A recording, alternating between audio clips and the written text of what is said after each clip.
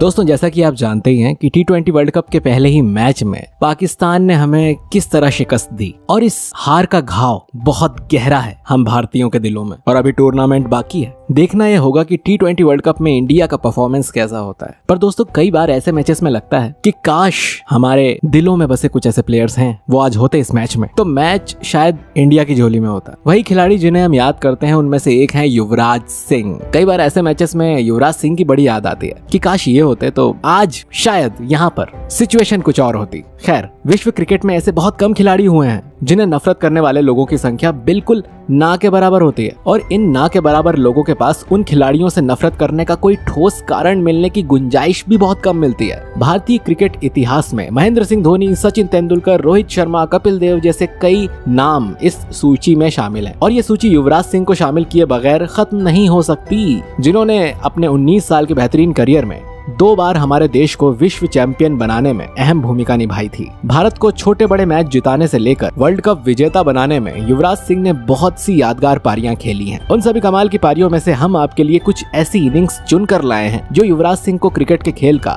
युवराज बनाती है। एक ऐसा युवराज जिसे देखने वाली हर नज़र इनकी मुरीद बन जाती है। नमस्कार दोस्तों, मेरा नाम है अमन कुमार शिंदे और अनुराग सर किसी काम में व्यस्तता के चलते कहीं बाहर हैं तो उन्होंने मुझे जिम्मा सौंपा है। आज का वीडियो अपनी आवाज़ में लेकर आने के लिए। तो आइए शुरू करते हैं युवराज सिंह की वो यादगार धमाकेदार पारियाँ। नंबर एक, चौरासी रन। ऑस्ट्रेलिया के खिलाफ। 7 अक्टूबर साल 2000 का दिन। आईसीसी नॉकआउट ट्रॉफी को जीतने की रेस में बने रहने के लिए भारत और ऑस्ट्रेलिया के बीच क्वार्टर फाइनल मुकाबला खेला जा रहा था। पहले बल्लेबाजी करने उतरी भारतीय टीम ने पंद्रहवें ओवर में सचिन के आउट होने के बाद अगले चार ओवर में गांगुली और द्रविड का विकेट भी खो दिया। उन्नीसवे ओवर की चौथी गेंद आरोप जब राहुल द्रविड आउट होकर पवेलियन लौट रहे थे, तब अंतर्राष्ट्रीय क्रिकेट में अपनी पहली पारी खेलने के लिए बेताब एक नौजवान लड़का नैरोबी क्रिकेट ग्राउंड की तरफ़ बढ़ रहा था। चार दिन पहले अपना वनडे डेब्यू करने वाले इस लड़के ने अपनी दूसरी ही गेंद पर शानदार चौका लगाकर एक बेहतरीन आगाज़ के ज़रिए उस समय की सबसे खूंखार टीम ऑस्ट्रेलिया के खिलाड़ियों को मैदान की हर दिशा में दौड़ाना शुरू कर दिया। नब्बे के स्कोर पर तीन विकेट गंवा चुकी भारतीय टीम देखते ही देखते एक भोली भाली शक्ल वाले लड़के के दम पर मैच में वापसी कर रही थी। और युवराज सिंह नाम का यह लड़का मैग्रा, गिलेस्पी और ब्रैटली जैसे गेंदबाजों वाली टीम की बखिया उधेड़ने में लगा हुआ था। पहले विनोद कामली और फिर रॉबिन सिंह के साथ। भारतीय पारी को आगे बढ़ा रहे युवराज सिंह ने तैतीसवे ओवर में एक जीवन दान मिलने के बाद पैंतीसवे ओवर में मेगरा की गेंद पर झन्नाटेदार चौके के साथ अपना अर्धशतक पूरा किया। लेकिन बात यहाँ खत्म होने वाली नहीं थी। युवराज सिंह ने आगे भी अपने शानदार शॉट्स जारी रखे और भारतीय पारी के उन्नीसवे ओवर में मैदान पर उतरे युवराज सिंह छियालीसवे ओवर तक डटे रहे और फिर अगले ओवर में ब्रेटली की गेंद पर आठवें विकेट के रूप में मैदान से बाहर आए। इस बीच 18 साल के इस लड़के ने 80 गेंदों में चौरासी रनों की ज़रूरी और अविस्मरणीय पारी खेलकर ये बता दिया था कि एक सीधे साधे लड़के का चैंपियन बनने का सफ़र शुरू हो चुका है। युवराज सिंह के करियर को जिस तरह की ज़रूरत थी, वो उन्हें मिल गई थी। बड़े मैचों की बड़ी पारियाँ खेलने की काबिलियत और खासकर ऑस्ट्रेलिया को हराने का हुनर, भविष्य की कई कहानियाँ उनकी इस पहली पारी से ही नज़र आने लगी थी। नंबर दो उनहत्तर रन इंग्लैंड के खिलाफ नेटवेस्ट ट्रॉफी के फाइनल में। युवराज सिंह का लगभग दो दशक लंबा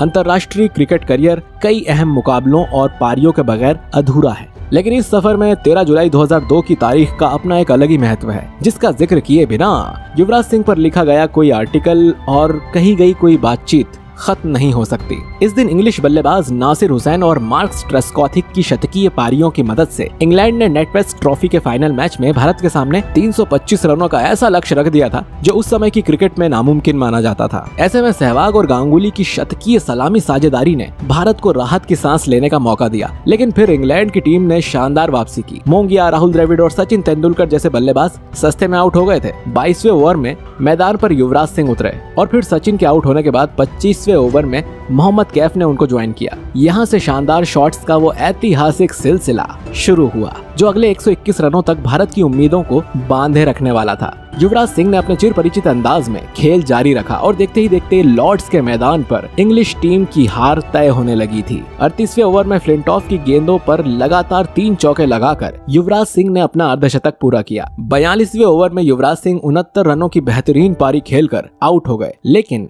एक समय में मैच हार चुकी भारतीय टीम यहाँ से नतीजा बदल सकती थी। और कुछ ऐसा ही हुआ। मोहम्मद कैफ ने युवराज सिंह के सहयोग के बाद टेलेंडर्स के साथ मिलकर और वानखेड़े का बदला लॉर्ड्स बालकनी में आकर पूरा हो गया। और उससे भी ज़्यादा खुशी की बात थी कि भारत को अपना युवराज मिल गया था। यहाँ से युवराज ने एक नई उड़ान के लिए टेक ऑफ़ किया और फिर कभी पीछे मुड़कर नहीं देखा। नंबर तीन। सत्तर रन ऑस्ट्रेलिया के खिलाफ 2007 टी वर्ल्ड कप में। युवराज सिंह वनडे क्रिकेट की तरह टी फॉर्मेट के भी सरताज थे और इसकी पहली झलक हमें इस नए फॉर्मेट के पहले ही आईसीसी टूर्नामेंट में देखने को मिल गई थी। इस टूर्नामेंट में भारतीय टीम के सभी अनुभवी खिलाड़ियों में से एक होने का फ़र्ज़ निभा रहे युवराज सिंह ने अपने करियर की दो सबसे बेहतरीन पारियाँ खेली थी। जिसमें से एक उन्होंने उस समय की सबसे बड़ी टीम ऑस्ट्रेलिया के खिलाफ खेली थी। 22 सितंबर साल 2007 के दिन किंग्स मीट के मैदान पर टी वर्ल्ड कप के सेमीफाइनल मैच में पहले बल्लेबाजी करने उतरी भारतीय टीम के लिए युवराज सिंह ने मिशेल जॉनसन और ब्रेट ली जैसे गेंदबाजों के सामने अपनी आतिशबाजियों का वो जौहर दिखाया, जिसे देखकर आज भी रोंगटे खड़े हो जाते हैं। 20 गेंदों में अर्धशतक पूरा करने वाले युवराज सिंह ने इस मैच में कुल 30 गेंदों का सामना किया और 70 रन बनाए, जिसमें पाँच चौके और पाँच गगन भेदी छक्के शामिल थे। इसमें से एक छक्का ब्रैट ली की गेंद पर। 119 मीटर का मारा हुआ छक्का था जो उस टूर्नामेंट का सबसे लंबा छक्का था। अठारवे ओवर में आउट होने से पहले हमेशा की तरह युवराज सिंह ने यहाँ भी अपना काम पूरा कर दिया था और भारत ऑस्ट्रेलिया के सामने एक बड़ा लक्ष्य रखने में कामयाब रही थी। भारतीय टीम यह मैच जीत गई और पहले टी वर्ल्ड कप की दूसरी फाइनलिस्ट बन गई। साथ ही ऑस्ट्रेलिया आठ सालों में पहली बार किसी वर्ल्ड कप टूर्नामेंट के नॉकआउट स्टेज में हार कर बाहर हो गई थी। नंबर चार 113 रन वेस्ट इंडीज के खिलाफ। 2011 वर्ल्ड कप में। भारत को इस टूर्नामेंट में चैंपियन बनाने में युवराज सिंह की क्या भूमिका रही थी, इसका बखान शब्दों में करना बहुत मुश्किल है, जिसकी सबसे बड़ी वजह है कि इस टूर्नामेंट के दौरान ये खिलाड़ी करोड़ों आशाओं का बोझ लिए अंदर ही अंदर एक और जंग लड़ रहा था, और ये जंग हर बीतते मैच के साथ मुश्किल होती जा रही थी। और इस मुश्किल जंग का अंदाज़ा पहली बार दुनिया को वेस्ट इंडीज के खिलाफ खेले गए मैच के दौरान हुआ था। सचिन और गंभीर के आउट होने के बाद भारत को एक बड़े स्कोर तक पहुँचाने का जिम्मा उठाए युवराज सिंह, चेन्नई की भीषण गर्मी में लगातार मुश्किलों में नज़र आ रहे थे। युवराज सिंह ने इस मैच में कोहली के साथ 123 रनों की साझेदारी निभाई थी और अपना शतक पूरा किया। लगातार बिखरती जा रही भारतीय टीम के लिए अकेले युवराज सिंह बहुत समय तक एकमात्र उम्मीद बनकर बल्लेबाजी करते रहे। लेकिन आउट होने से पहले खुला निमंत्रण होने के बावजूद भी मैदान नहीं छोड़ा। रवि रामपाल के कहर के बीच युवराज सिंह ने खुद से लड़ते हुए 113 रनों की पारी खेली और भारत को एक अच्छे खासे स्कोर तक पहुँचा दिया। आगे भारतीय गेंदबाजों के शानदार प्रदर्शन की बदौलत भारत ये मैच जीतकर शान से क्वार्टर फाइनल में पहुँचा और फिर चैंपियन भी बना। लेकिन उसके बाद सामने आई ये खबर कि वेस्ट इंडीज के खिलाफ खेलते हुए युवराज सिंह सिर्फ़ डिहाइड्रेशन से ही नहीं, बल्कि कैंसर से भी जूझ रहे थे। ज़िंदगी की इस जंग में चेन्नई की गर्मी के बीच शतक लगाने वाली बात इस पारी को युवराज सिंह की इस टूर्नामेंट में खेली गई बाकी सभी पारियों से सबसे बड़ा बनाती है। नंबर पाँच। 150 रन इंग्लैंड के खिलाफ 2017 युवराज सिंह के करियर या यूँ कहें ज़िंदगी को करीब से देखने पर पता चलता है कि उनके सामने जितने अधिक मुश्किल सवाल पेश किए गए, युवराज सिंह ने उन सवालों का उतना ही तेज़ी से और अच्छाई से जवाब भी दिया। फिर वो चाहे मुश्किल टीम हो, मैदान हो, सिचुएशन हो, या फिर कैंसर ही क्यों ना हो, एक ऐसा ही मुश्किल सवाल कैंसर से बचने के बाद उस समय भारतीय टीम में वापसी को लेकर भी युवराज सिंह के सामने आया, जब श्रीलंका के खिलाफ टी विश्व कप फाइनल में भारत की हार का ठीकरा इस महान बल्लेबाज पर फोड़ दिया गया। भारत को दो बार विश्व चैंपियन बनाने वाले इस खिलाड़ी को एक बुरे दिन के चलते जब अपनी ही टीम में वापसी पर प्रश्न चिन्ह लगाए बैठी थी, तब युवराज सिंह ने अपने करियर का सबसे शानदार प्रदर्शन किया। जनवरी 2017 में महेंद्र सिंह धोनी के बाद विराट कोहली पहली बार भारतीय टीम की कमान संभाल रहे थे। वनडे सीरीज़ का दूसरा मैच कटक के मैदान पर खेला गया, जिसमें भारतीय टीम पहले बल्लेबाजी करने उतरी, लेकिन शुरुआत अच्छी नहीं रही। विराट कोहली, शिखर धवन और के राहुल जल्द ही पवेलियन लौट गए। और अब मैदान पर महेंद्र सिंह धोनी और युवराज सिंह मौजूद थे। पहले भी कई बार भारत को मुश्किलों से निकालने वाली इस जोड़ी पर भारत को एक अच्छी स्थिति में पहुँचाने का जिम्मा था। दोनों बल्लेबाज और खासकर युवराज सिंह शुरू से ही अपनी लय में नज़र आ रहे थे। युवी ने अपने शानदार शॉट्स खेलना जारी रखा। इंग्लिश टीम का हर गेंदबाज उस दिन युवराज सिंह के करारे शॉट्स देखकर हैरान था। भारतीय पारी के चौथे ओवर में मैदान पर उतरे युवराज सिंह ने 20वें ओवर में अपना अर्धशतक पूरा किया और फिर 33वें ओवर में साल 2011 के बाद पहली बार सौ का आंकड़ा पार किया। युवराज सिंह का करिश्माई खेल आगे भी इस मैच में जारी रहा और उन्होंने बयालीसवे ओवर में अपने वनडे करियर में पहली बार एक पारी के दौरान तीसरी बार बल्ला हवा में लहराया। अगले ओवर में युवराज सिंह की ये शानदार पारी खत्म हुई, जिसमें उन्होंने 127 गेंदों में 21 चौकों और तीन छक्कों की मदद से 150 रन बनाए थे। सबको लगने लगा था कि शायद उन्हें अपना पुराना युवराज वापस मिल गया है। लेकिन दो साल बाद इस चैंपियन ने क्रिकेट की क्रूरता से थक कर रिटायरमेंट की घोषणा कर दी।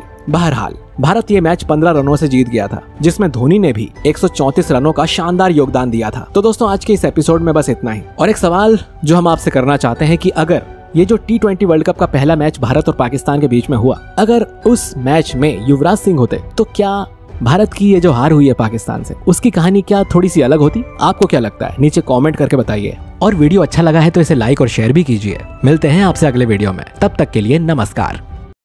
पुण्य कथा सिया राम की सुनाने, गाथा महाभारत के महासंग्राम की गाने, अनेकों पावन पौराणिक कथाओं का लेके उपहार। नारा टीवी आ रहा है आपके द्वार। नारा टीवी प्रस्तुत करता है नारद वाणी, सनातन धर्म की अनेकों अद्भुत गाथाओं और जानकारियों से भरपूर अनूठा मंच। तो अभी सब्सक्राइब करें नारद वाणी यूट्यूब चैनल को।